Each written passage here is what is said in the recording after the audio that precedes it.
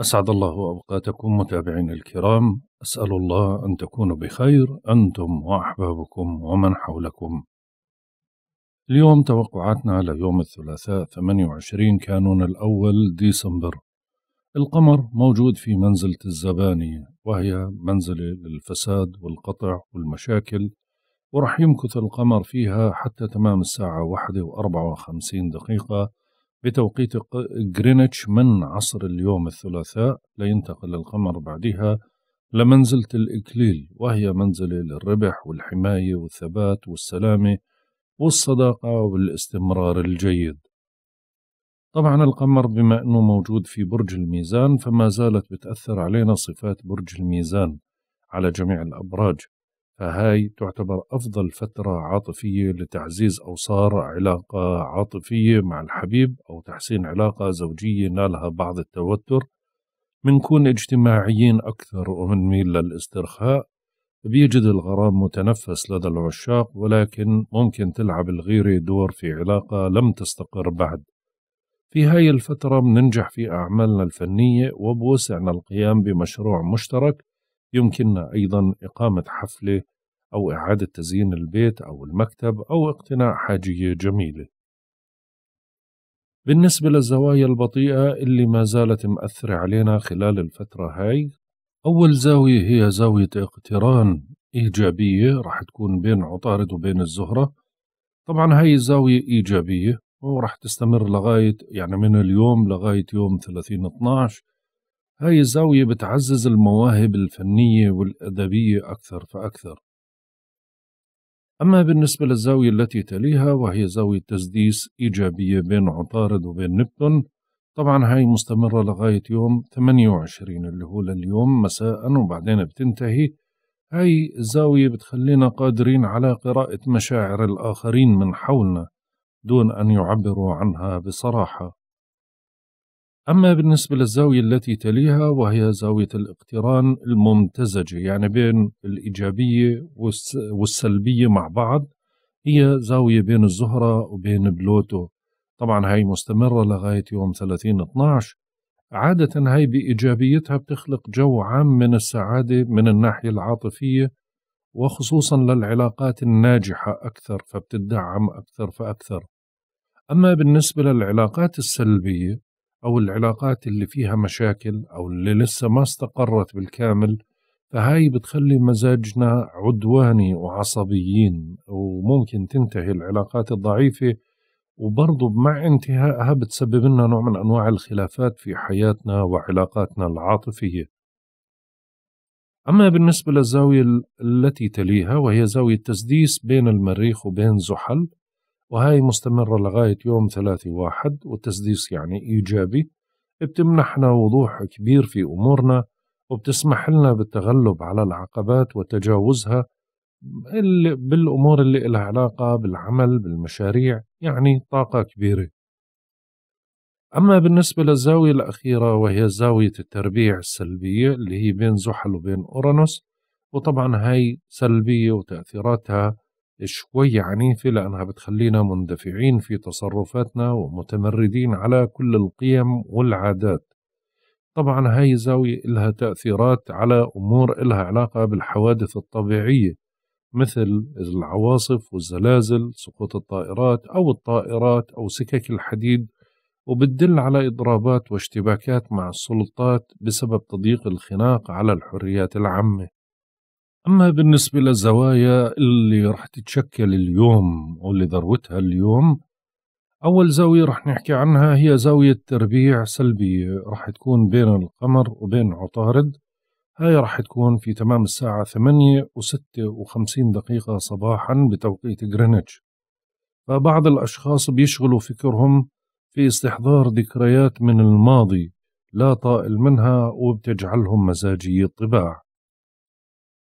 أما بالنسبة للزاوية التي تليها وهي زاوية تربيع سلبية راح تكون برضو بين القمر وبين الزهرة وهي راح تكون في تمام الساعة 12 و 19 دقيقة ظهرا. أكثر المتضررين اللي بيكون عندهم مشاكل عاطفية لأنهم في هاي اللحظة بيتجهوا للتنفيس عن مشاكلهم من خلال صرف النقود بإسراف دون حساب. أما بالنسبة للزاوية التي تليها وهي زاوية تربيع سلبية بين القمر وبين بلوتو وهي راح تكون الساعة ثنتين وست دقائق عصرا بتوقيت غرينتش. طبعا كل الأوقات وهي الزوايا تأثيرها طول اليوم. بتدفع بعض الأشخاص للتسلط ومحاولة فرض سيطرتهم على الآخرين ممن حولهم من الأصدقاء وأفراد العائلة. أما بالنسبة للزاوية التي تليها وهي الأخيرة قبل خلو المسار هي زاوية تثليث إيجابية راح تكون بين القمر وبين المشتري وهي راح تكون الساعة تسعة وعشر دقائق مساء بتوقيت غرينتش.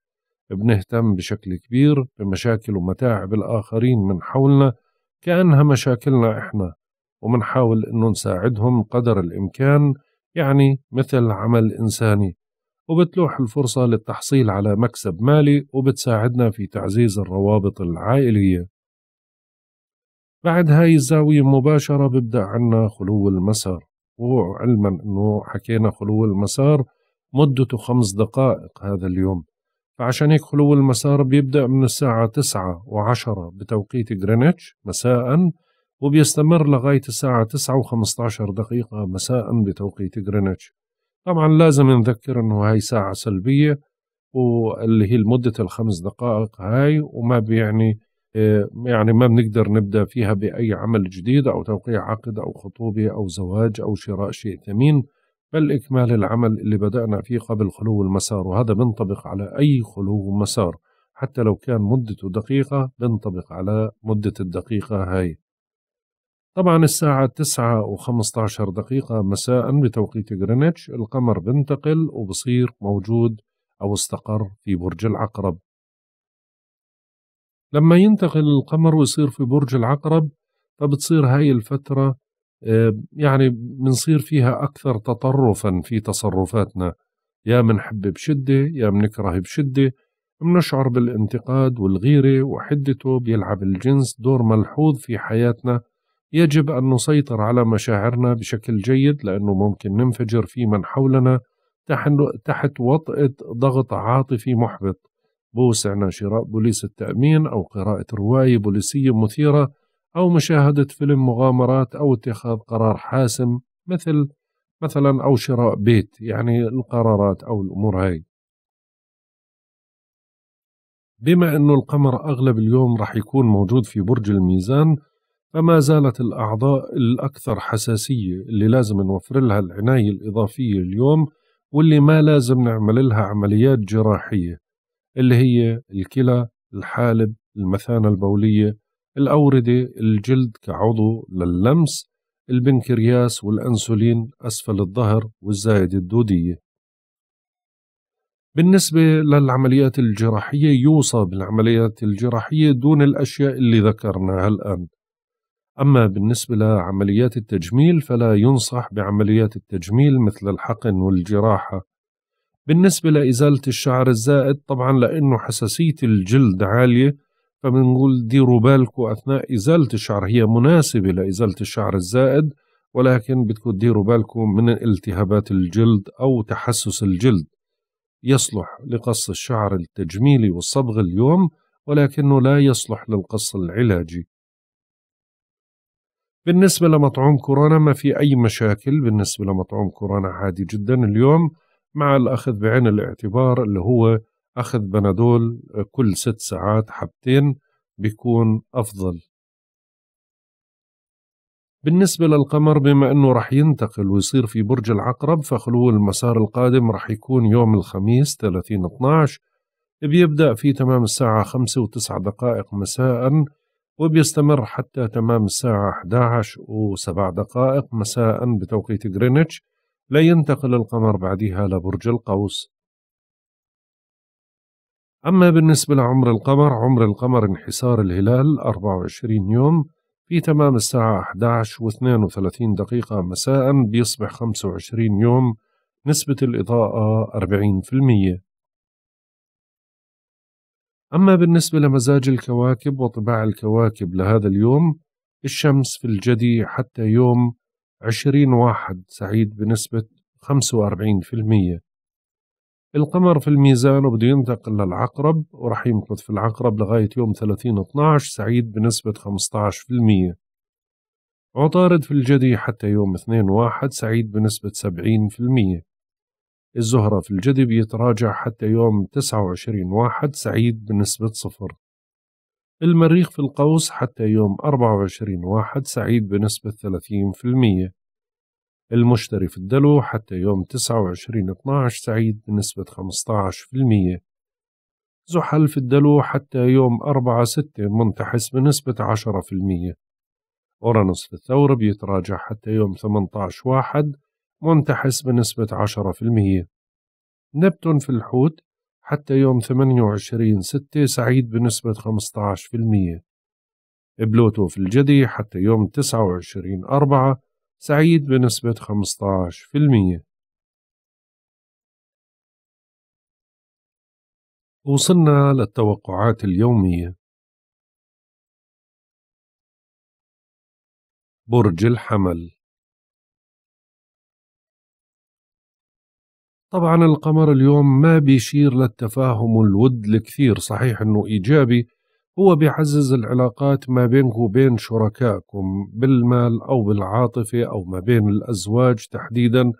بخلي في نوع من أنواع الهدوء في بعض الأوقات ولكن سرعة الغضب عندكم عالية جدا فعشان هيك ممكن تتعقد الأمور وتطرأ بعض البلبلة. أهم شيء إنك تعالج الالتباسات وسوء التفاهم بموضوعية وحذر القطيعة والدعاوى القانونية في هذا اليوم. دير بالك إنه أي عدو ظاهر بالنسبة لإلك فبكون قوي وأقوى منك. فعشان هيك ابعد عن المشاكل قدر الإمكان ولأنه برضو ممكن أنه أي عراقيل أو أي استفزاز اليوم يثيرك بزيادة ويستفزك بزيادة فما تقدر تتمالك نفسك. برج الثور العمل زي ما حكينا هو أكثر الأشغال أو الأشياء اللي بتشغل, بالك لأنه اليوم القمر ما زال موجود في البيت السادس فبتجدوا أنه اليوم بيتراكم العمل أكثر من المعتاد ولكن ممكن تجدوا نوع من أنواع التعامل من أحد الزملاء أو المعارف أنه يساعدكم في إنجاز بعض الأعمال. أهم شيء أنكم تمارسوا نوع من أنواع الحركة أو النشاط اليوم على أساس لياقتكم أو نفسكم أو صحتكم. يعني ما تخلوا اليوم في نوع من أنواع الخمول بدكم تتحركوا. تجدوا نوع من أنواع أنه الأعمال بلشت تتراكم أو تتداخل مع بعض بتصيروا مشغولين بأكثر من أمر في نفس الوقت. فعشان هيك بدكم تحاولوا تنجزوا كل الأعمال الضرورية والمهمة وحاولوا قدر الإمكان أنكم تنتبهوا لصحتكم لأنه برضو الفترة هاي بتركز على أمور الصحة وبتعمل علامات استفهام.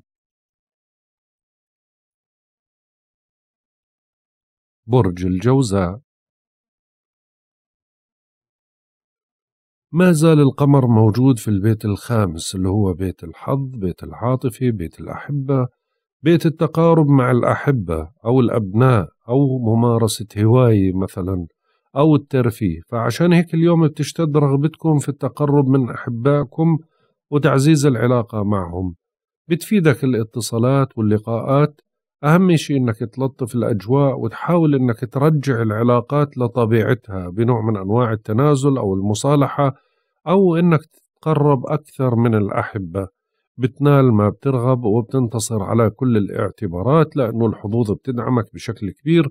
ممكن اليوم تحل مسائل عالقة أو كانت مستحيلة. فعشان هيك تعتبر هاي الفترة فترة إيجابية فلازم تستثمرها وتستغلها فطول اليوم ما في خلو مسار والزوايا إيجابية.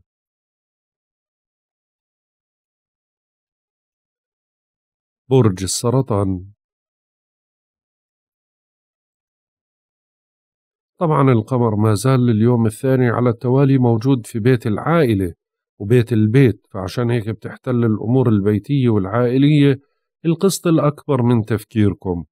فبإمكانكم اليوم أنكم تتفاهموا وتتعززوا العلاقة مع أفراد العائلة أو تتقاربوا منهم أو يصير في لقاء عائلي أو مناسبة عائلية. أهم شيء أنكم تتجنبوا توبيخ الأحبة أو لومهم.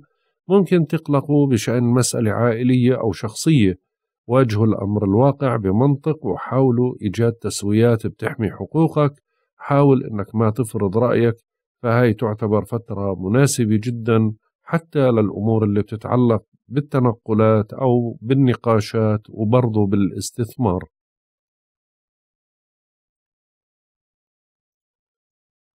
برج الأسد. القمر ما زال موجود في البيت الثالث لإلك فعشان هيك بيظل النشاط مسيطر عليكم بشكل كبير فاليوم بتنشطوا في أمور لها علاقة بالدراسة بالامتحانات بالمقابلات بالنقاشات بالتنقلات بالسفريات القصيرة بالاتصالات على أنواعها. فاليوم بإمكانكم اجتياز امتحان برضو عندكم قدرة من تعزيز العلاقة مع الإخوة أو الجيران أو تعاون معاهم أو يساعدوكم في أمر ما. بتكثر عندكم النشاطات على حسب حقل اختصاصك يعني على حسب أنت شو بتشتغل أو طبيعة حياتك نشاطاتك عالية. بتكون لك لقاءات عديدة وباستطاعتك الدفاع عن حقك والتعبير عن رأيك بوضوح وصراحة. آه، ممكن تعبر عن مواقفك برضو بكل جراءة. أهم إشي إنك ما تتردد بالتحرك.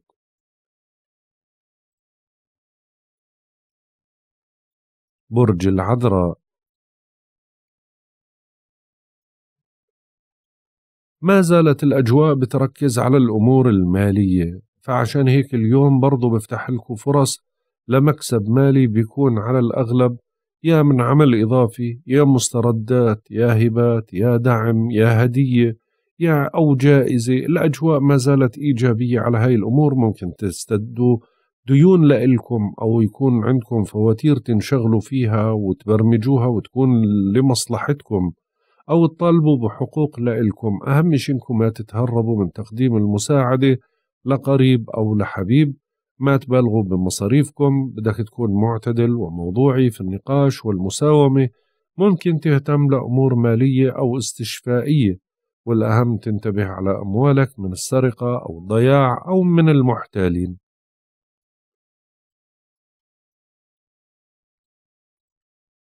برج الميزان طبعا اليوم بتبدأوا فترة أفضل من سابقها. بتعيد لكم ثقتكم بأنفسكم وبتنجحوا بالدفع بمصالحكم. شعبيتكم في في تصاعد أكثر فأكثر. بتستعيد حماستك وبتنهمك بإدخال تعديلات أو تغييرات على روتينك أو على مظهرك. بتقوى نسبة نجاحك وبتشتد عزيمتك. وممكن تنقلب المعطيات من تلقاء ذاتها لصالحك. الأجواء جيدة ودعم لإلك. من ناحية ثقة بالنفس من ناحية طاقة صحة آه، معنويات كل الأمور جيدة. ما عليك إلا أنك تتحرك وتستغل الفترة هاي. طبعا الفترة هاي برضو ممتازة للمصالحات وللتقارب.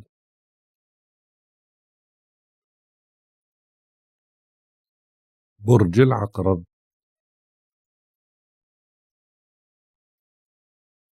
بالنسبة لمواليد برج العقرب طبعا القمر ما زال موجود في بيت المتاعب لغاية ساعات المساء. يعني في ساعات المساء المتأخرة شوي بتشعروا بالراحة ولكن من الآن لساعات المساء بتتراجع صحتكم شوي بدكم تنتبهوا لصحتكم أو ممكن تشعروا ببعض التعب أو الملل. حاولوا أنكم تخلدوا للراحة وحاولوا فقط إنجاز ما بوسعكم من العمل العاجل. حاولوا أنكم ما توقعوا على عقد ما تبدأوا عمل جديد. لأنه هاي فترة فارغة من الحظ. يعني بدك تحاول أنك تحلل الأمور بهدوء وتبتعد عن الأضواء وما تقرر على شيء عشان ما تخيب آمالك وحاذر من البلبلة والالتباسات وبرضه ما تأخذ بثقة أي شخص بوعدك بشيء ممكن ما يحقق ثقته ويخلف وعده. برج القوس بتنشطوا اجتماعيا وبتسعدوا من لقاء الأصدقاء اليوم أكثر فأكثر وتعاونهم وتعاونكم معهم ولكن حاولوا إنكم ما تفرضوا حالكم أو سيطرتكم على أصدقائكم في هذا اليوم. منكم أشخاص ممكن يتلقوا دعوة لحضور حفل أو مناسبة سعيدة أو آه، لقاء أصدقاء أو اتصال أو يعني نوع من أنواع التواصل مع الأصدقاء. أهم شيء تبادروا لملاقاة الآخرين في منتصف الطريق. بيطمئن بالك لأنه ممكن تجد حليف يدعم تصوراتك. أهم شي ما تستسلم وكرر المحاولة. الأجواء إيجابية وداعمة لإلك بقوة فعشان هيك حاول تستغلها اليوم لإنجاز كل شيء ضروري ومهم. برج الجدي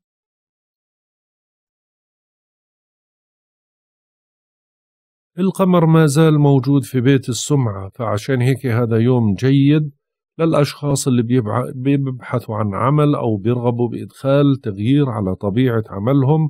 اليوم تجدوا أنه شوي في تقارب ما بينكم وبين المسؤولين. ممكن يقدروا جهودكم أو يثنوا عليه أو يكرموكم أو يعني يكون في نوع من أنواع توكيل أشياء مهمة لإلكم. طبعا إذا أنجزتوا كل شيء على أكمل وجه. يعني في معنى آخر أنه بيت السمعة والعمل هذا بتتسلط عليك الأضواء أكثر فأكثر إما إيجابيا وبتكون لمصلحتك وبتنشهر أم أو سلبيا وهذا الشيء بضر بسمعتك فعشان هيك حاول قدر الإمكان أنك ما تجازف وما تغامر ما تخالف القوانين عشان ما تشوه سمعتك.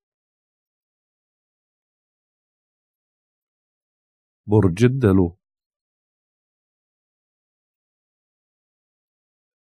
بتنشطوا في أمور إلها علاقة بالسفر والاتصالات البعيدة والعلاقات مع الأجانب أو أشخاص خارج البلاد. هذا يوم مناسب لإجراء مقابلة أو اجتياز امتحان. الأجواء داعمة وبقوة لإلك. عشان هيك ممكن بعضكم يبدأ عمل أو دراسة أو دورة. ممكن تناقشوا بقوة وذكاء وتتجرؤوا على رفض أي شيء ما بيناسبكم. أهم إشي إنه ما تخشى شيء بل ثق بنفسك أكثر هاي فترة مناسبة لخوض تجربة جديدة في محتمل لبعض مواليد برج الدلو إما أنه بفكر بموضوع سفر أو أي شيء له علاقة بالأجانب خارج البلاد أو مؤسسات تعليمية. برج الحوت